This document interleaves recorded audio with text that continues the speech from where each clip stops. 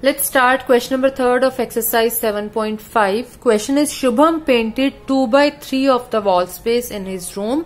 Shubham ने अपने room में 2 by 3 पार्ट जो वॉल का है वो पेंट किया and his sister Madhavi helped and painted 1 by 3 of the wall space.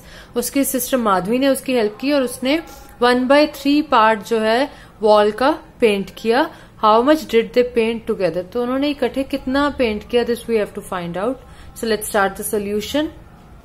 Fraction of wall painted by Shubham is 2 by 3 because Shubham painted 2 by 3 of the wall.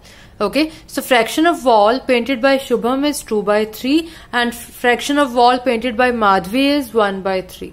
Now we have to find the total wall painted by both of them and that will be we will add these two fractions 2 by 3 and 1 by 3 and as these are like fractions we will add only the numerators and the denominator will remain same. So this will be 3 by 3 okay this will be 3 by 3 and when we cancel it out it will be 1 okay so your answer will be they painted whole wall. They painted complete wall.